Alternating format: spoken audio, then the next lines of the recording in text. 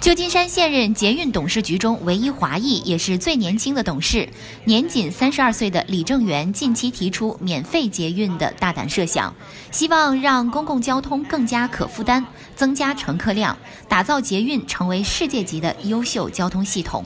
他总结过去一年，捷运已经实现向低收入人群减免百分之二十的车费计划。